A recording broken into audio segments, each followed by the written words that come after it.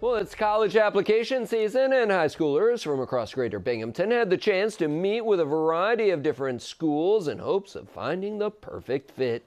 The Binghamton College and Career Day was held at the Visions Veterans Memorial Arena today. Juniors and seniors were able to discuss the application process, campus life, and financial aid with representatives from community colleges, SUNY colleges, and private schools. There were also representatives from the armed services and trade schools.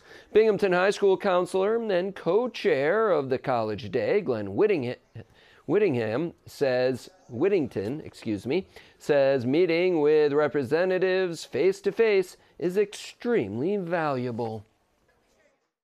They embark on life after high school, the decisions that they have to make are perhaps the most important decisions they've had to make up to this point in their life. So getting as much information as possible help them make the best decision that they could possibly do.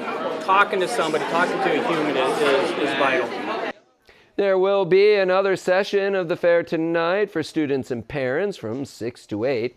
Whittington says it tends to be less crowded and a good opportunity to learn more.